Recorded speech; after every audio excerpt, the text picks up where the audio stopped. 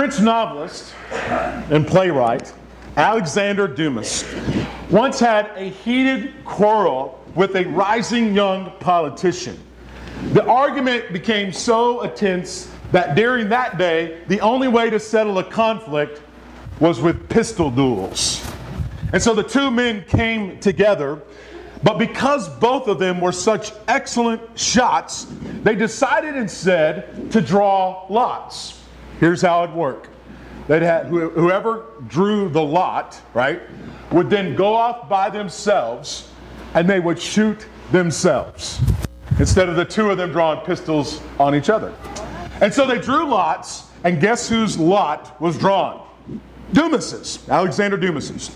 So, pistol in hand, right? He withdrew into a silent dignity, and, and, and he withdrew in silent silence to another room, right? He closed the door behind him, and the rest of the company waited in gloomy suspense for the shot that would end his career. It rang out at last. Boom! His friends ran to the door, opened it, found Dumas, smoking revolver still in his hands.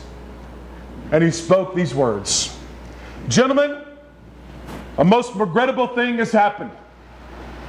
I missed.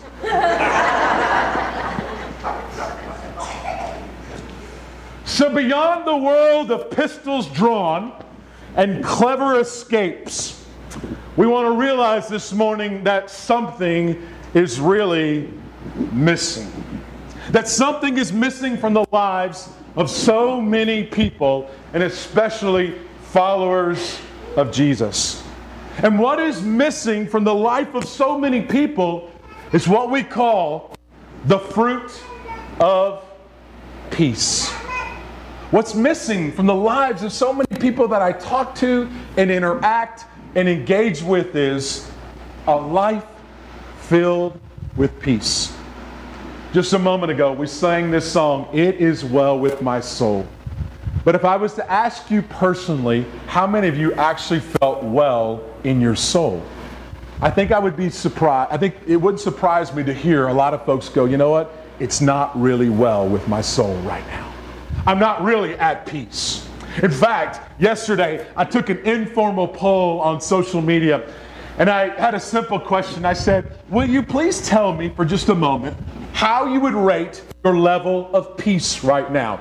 on a simple scale of one to five. One being this, all right? peace. I don't know any peace. My life is chaotic, right? Or five, I'm like a ship and you can't sink me, right? It's well with my soul. And I ask people to rate their life right now. If you had this on a scale of one to five, your life of peace. And it was really interesting. Number one was this nobody gave themselves a five. I thought that was fascinating. Nobody could rate themselves right now in this moment of time and say, you know what, I'm a five. My life is so filled with peace that I'm a five. Now, I got, a, got some fours and a few threes, but you know that the majority of people who took the poll said this I'm a two, and there were a whole lot of ones.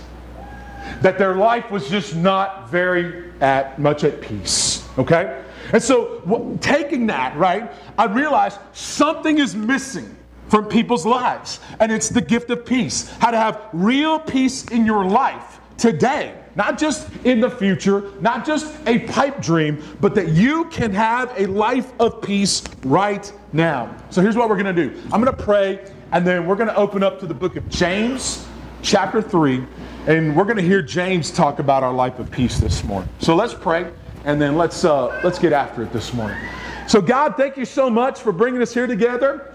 Help remove the distractions of life for just a moment. Help us to focus our attention onto you and help us to dive into this question Can I really have peace at life? Can I have peace when I'm at school? Can I have peace when I'm at work? Can I have peace in my home? Can I have peace with my friends and family? Can I have peace with the relationships of the people I'm in? Can I be at peace? Can I really experience real peace? And we all said together, Amen. Amen. All right. When I was a teenager, one of the things that we always like to do with one another is we used to like to throw up these two fingers like this, right? And whenever we were going somewhere, we would say peace, or we'd go peace out, right? So, so everybody do that with me just this morning. Throw up two fingers. Go peace. Peace.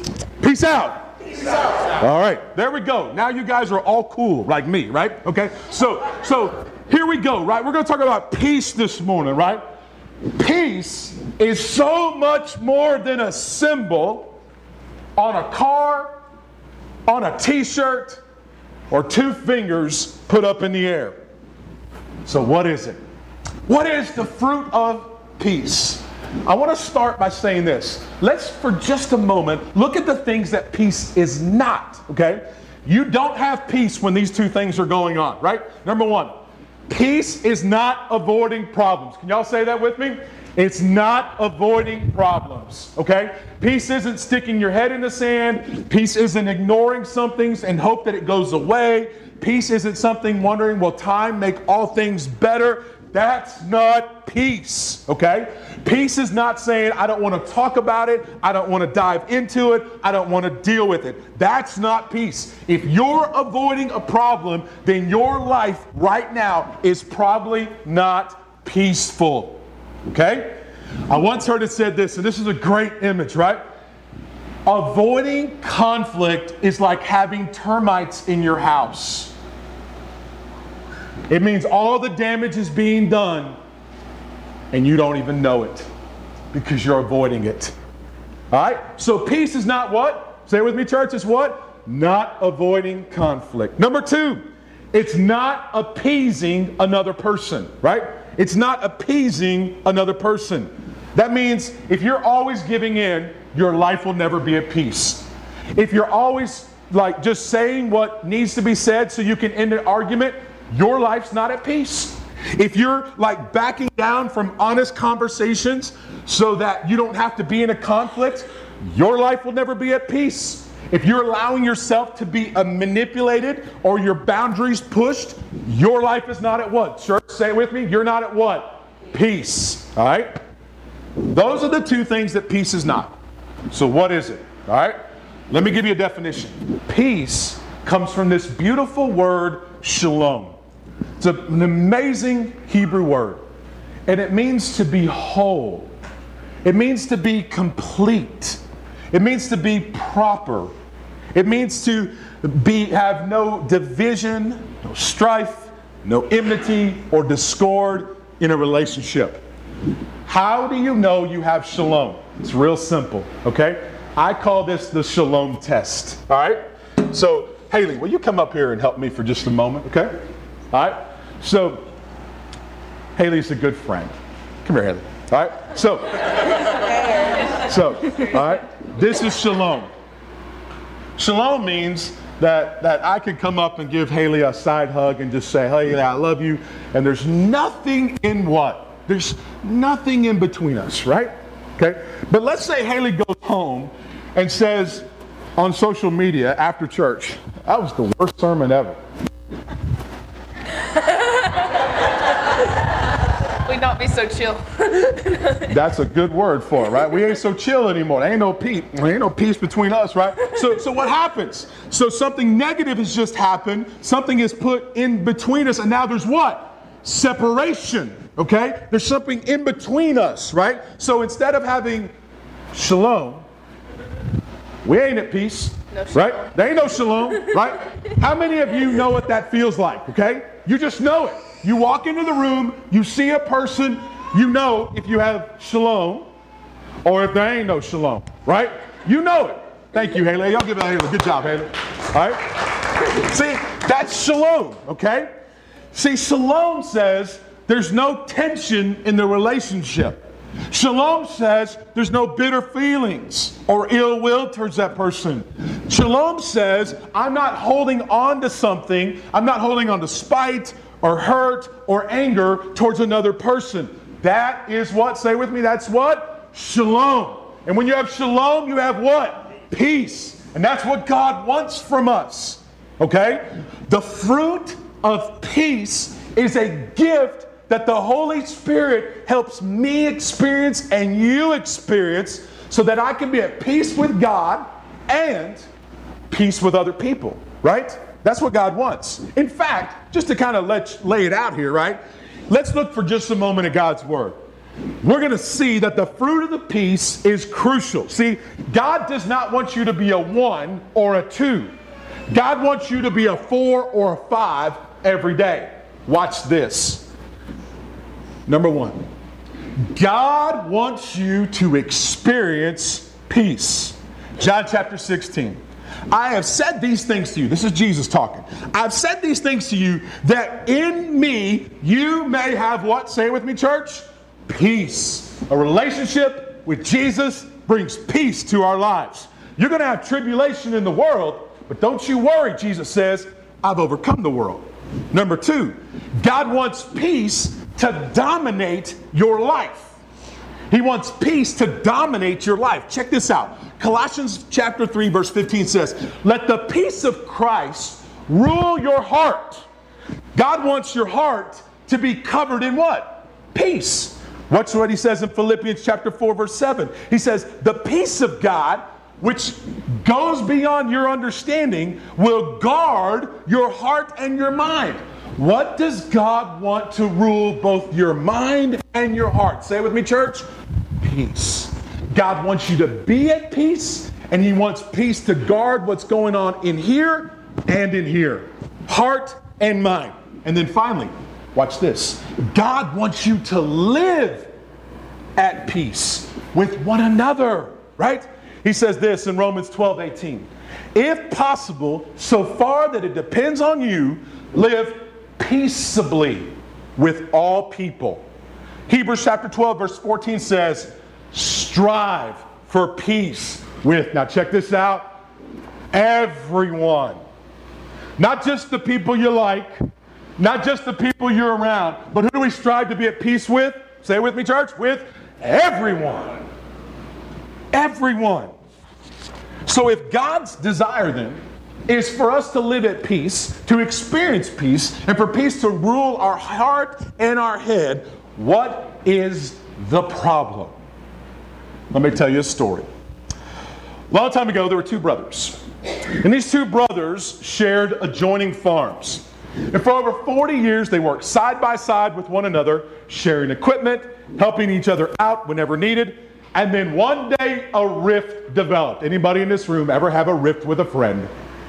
Anybody in this room ever have a rift with a family member? Anybody ever have a rift with your spouse? There's some liars in this room. Y'all, I'll tell you what, man. My hand just shot up I was looking around That's like right. else's was. That's right. Rifts happen. Say that with me. Rifts happen.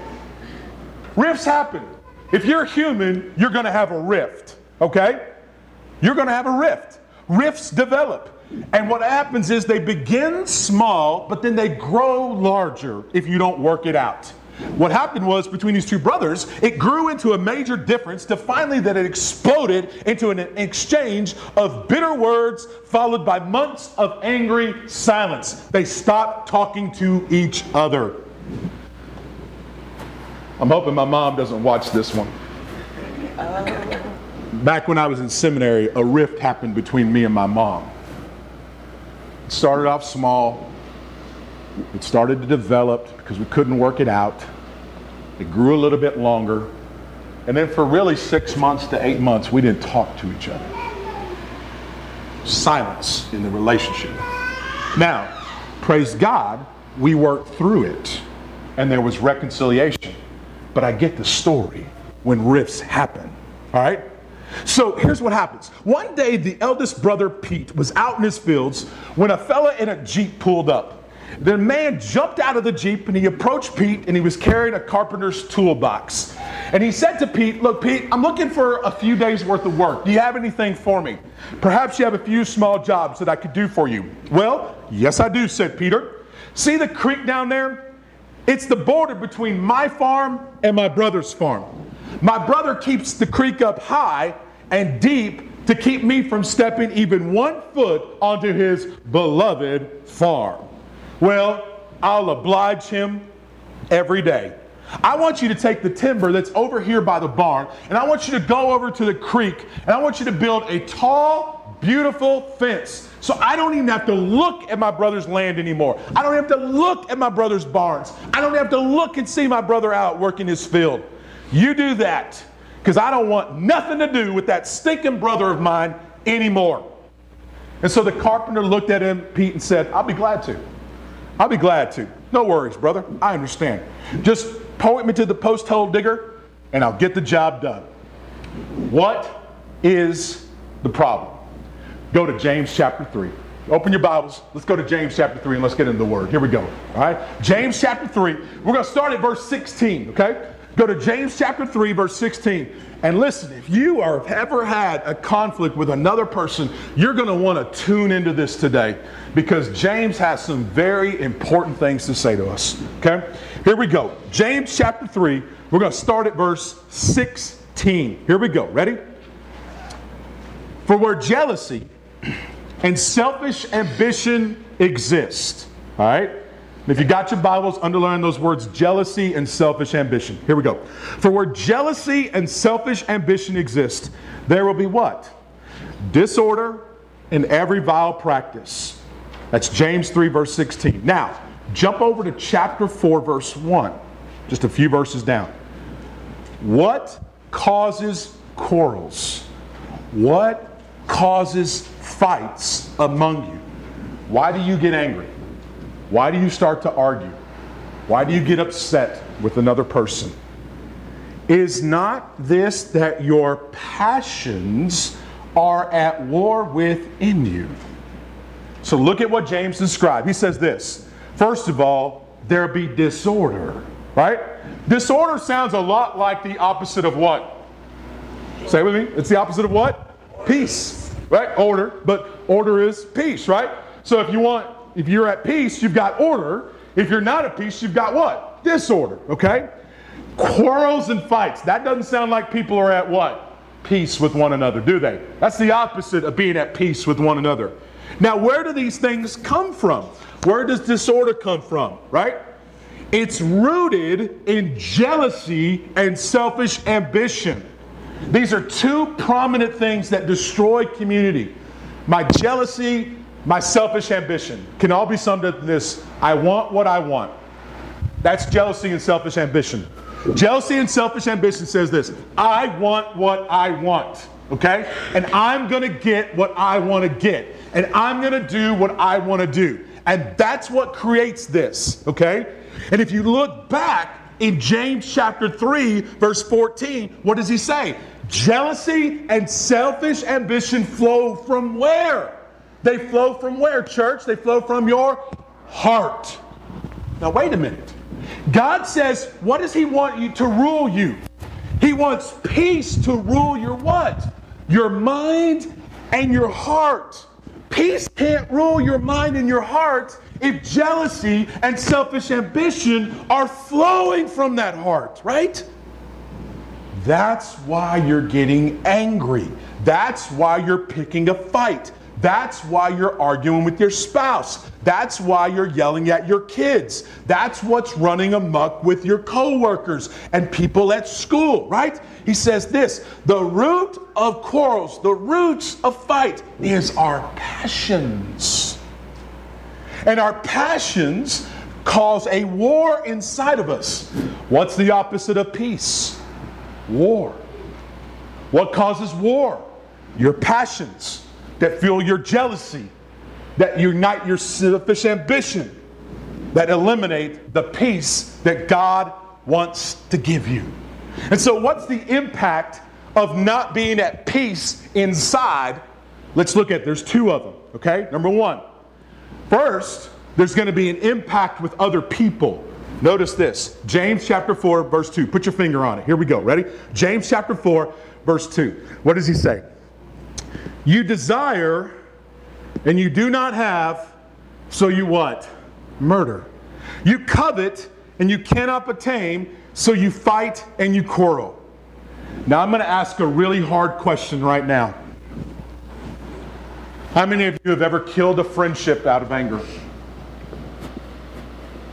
How many of you have ever killed a friendship out of anger? How many of you have ever killed a relationship with a family member out of anger? How many of you killed a marriage out of anger? We kill relationships. Jesus said this when you have anger in your heart, you've committed what? Murder. So James just takes that and says, Look, you fight, you do all these things, right? You desire, you don't have. So what you're doing is you are murdering your friendships. Your quarrels, your fights, they're killing your relationship with your spouse and your children and your grandchildren, right? To the point that that relationship dies. How much damage have you done to a friendship? Now, this is going to be rough, right? How much damage have you done to a friendship because you just didn't get what you wanted? How much damage did you do to a marriage because you didn't get what you wanted? How much damage did you do to the people at work because you didn't get what you wanted? How much damage did you do to the people you go to church with because you didn't get what you wanted? Right? First, we have to recognize what we do to others when we're not at peace. Then it's God. Watch this James 4, verse 3 and 4. Let's look at it together. Put your finger on it. You do not have because you don't ask. You ask, but you don't receive. Why? Because you ask wrongly and you spend it on your passions, you adulterous people. Do you not know that friendship with the world is enmity with God? See, when our heart is being pulled by selfishness, I want what I want, right? When jealousy, you have something, I want it. What happens is, first of all, it messes up our relationship with God so that our prayers are all out of whack. And then you wonder, why are our prayers not getting answered? Well, it's because you're praying. You're either not praying for the right things or you're praying for the wrong things with the wrong desires. Instead of praying to God, listen, God, I need peace in this relationship. I need reconciliation in this relationship. I need healing in this relationship. I need you, God, I need you to help me get along with my siblings.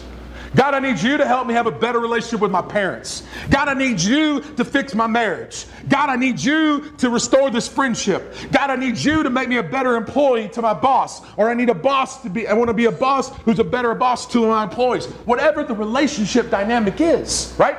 I have to pray this. God, help me be a better pastor and have better relationships with the people that I serve, right? See, that's the prayer that God wants. But here's our prayers, right? And you know what they are, right? God, just cut that dude's tongue out.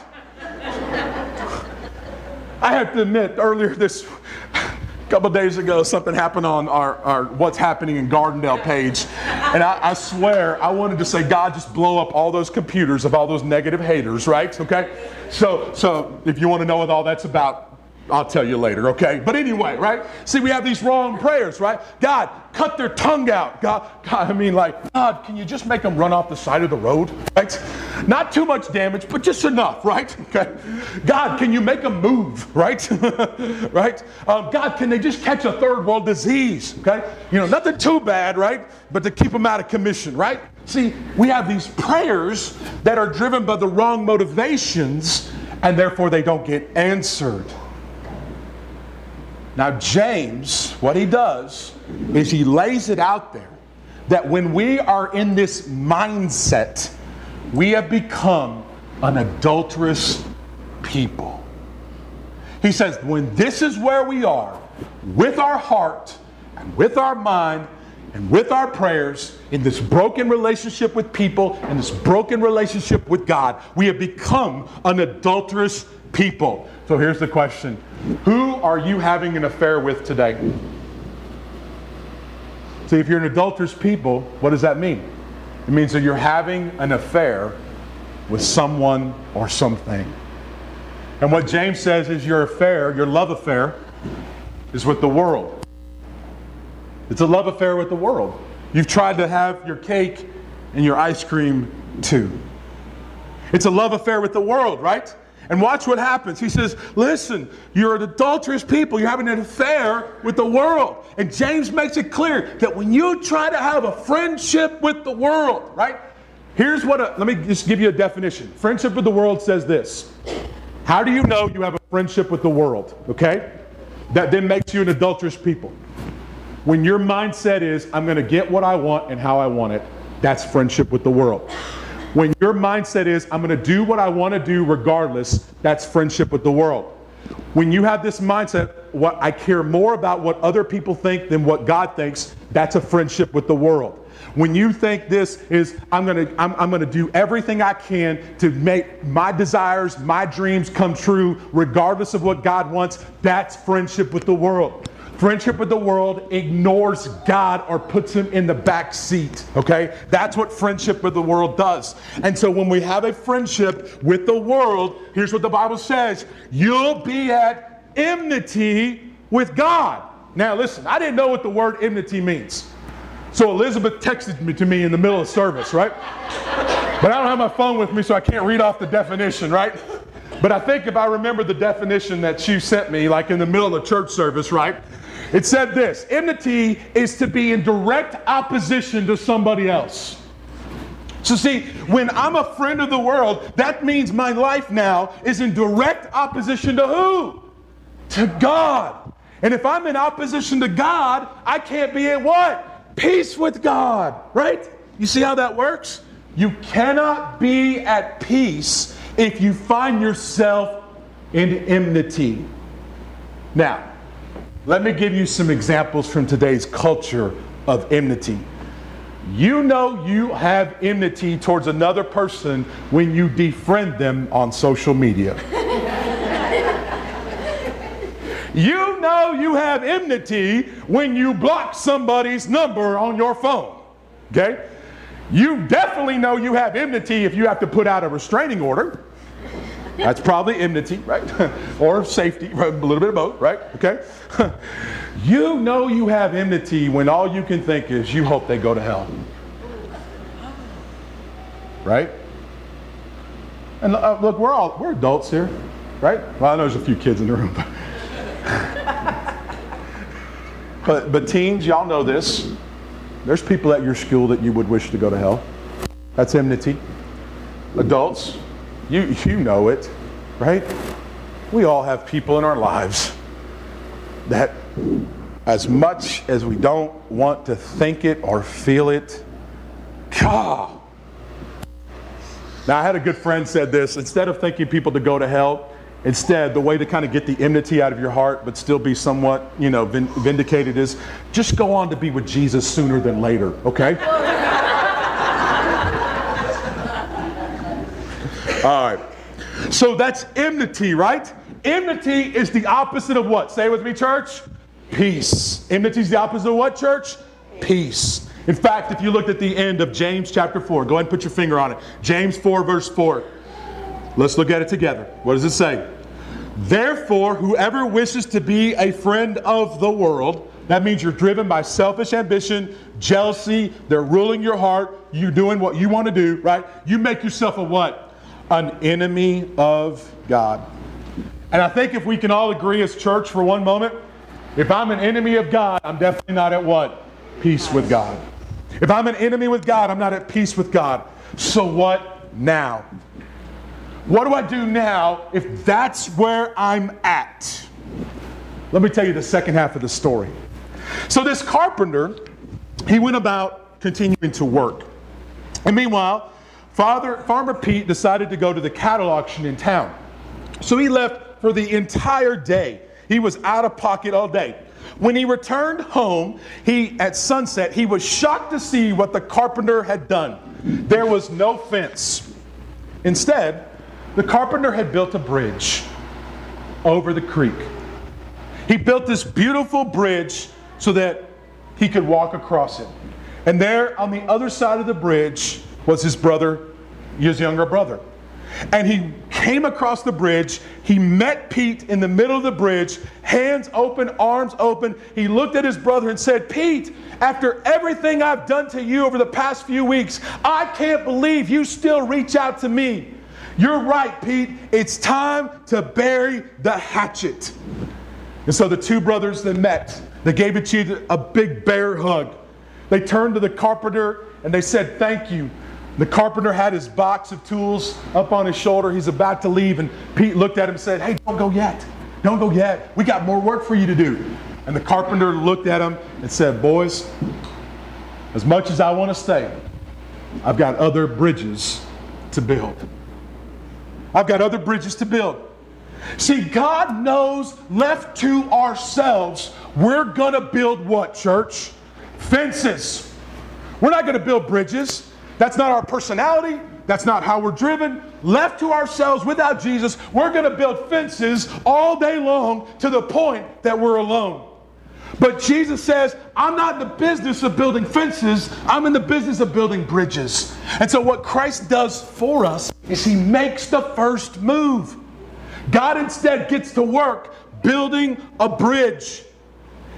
He comes to us, He makes the first move, and that's what grace is all about. That's why in the book of Romans he says that while we were still sinners, Christ died for us. That while we were still enemies and driven by the friendships of the world and selfish ambition and jealousy, we are reconciled to God. See, you can't have peace if you don't have reconciliation. If you don't have reconciliation, you simply have neutrality.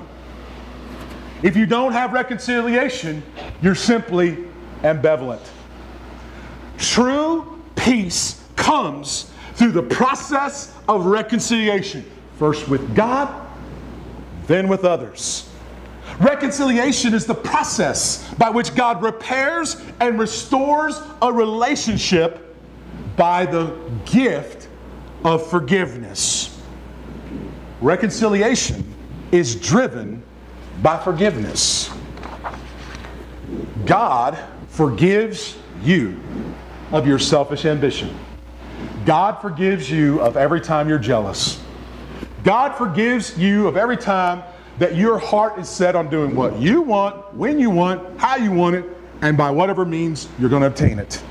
God forgives you of you, and He forgives you of all your sins. He no longer counts them against you. He wipes the slate clean. And when the slate is clean, we have what, church? Peace. I got peace with God, right?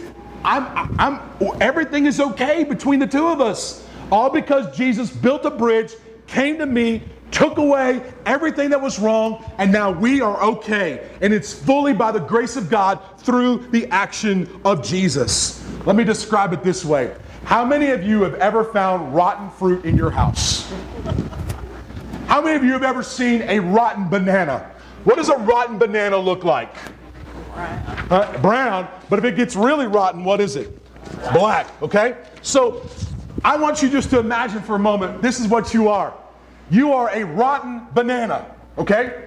You are squishy and messy.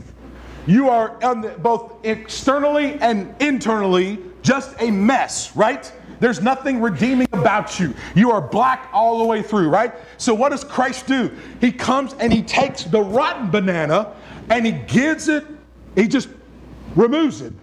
And then he makes you into a fresh new banana that even Curious George would like, okay? So, I'm bananas, you're bananas, we're bananas. That's the church. Church full of bananas, right? That's what we are. We go from being rotten fruit to beautiful, good fruit, right? Now, how does that translate to today? I want to say one thing before I leave you with this thought. First of all, the book of Romans says this If at all possible, we should, through every effort, live at peace with one another. As much as it depends on me, live at peace with one another.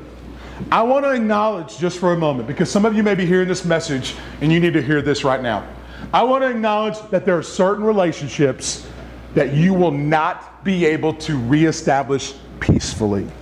Okay? I think there's three of them. Number one, if you are in an abusive relationship, physical, emotional, spiritual, verbal, the likelihood of being able to reestablish peace with that person will only happen by the grace of God working in the other person's life to change them so that you can reconnect. That's number one. Number two, unwilling relationships. You may have a full desire to be at peace with another person, but if that person is unwilling, right, you have to wait until God changes their spiritual condition so that they are willing. And then number three, betrayal. This often happens with affairs. This often happens in financial situations where there's betrayal of money and trust. Um, this can happen in families, right? Sometimes betrayal is very hard to overcome. And again, it's only by the grace of God, right? But that doesn't mean we just ignore what Romans says. Romans says to live what? Peaceably, peaceably with all to the best of our ability, if possible, right? So, how can you have peace? Let me give you a peace plan to close with. It's real simple. Number one, get real. Get real. If you have a broken relationship today, just can you acknowledge that? Okay? Part of healing is just acknowledging my marriage is not at peace. These friendships are not at peace. My relationship with my kid or my grandkid is not at peace. My relationship with my parent or my grandparents is not at peace. My relationship with this coworker or this church member or this friend is not at peace. Let's get real and just acknowledge where peace is broken. Number two, pray boldly. Pray boldly that God will give you the fruit of peace in your life, the fruit of peace in that person's life, so that there's a common ground that you can come together that my peace with God, their peace with God, that will now translate into a peace with one another. Number three, and this is the hardest one take the first step. Stop waiting for someone to come to you. Stop waiting for that person to get it together. Stop waiting for that person to be the first to acknowledge. You, in the courage that God gives you, with the peace of God that follows you, take the first step, church. Number four, as you take the first step, own your part. Jesus makes this so clear. He says, Look, when you go to another person, you take the log out of your eye before you take the speck out of somebody else's.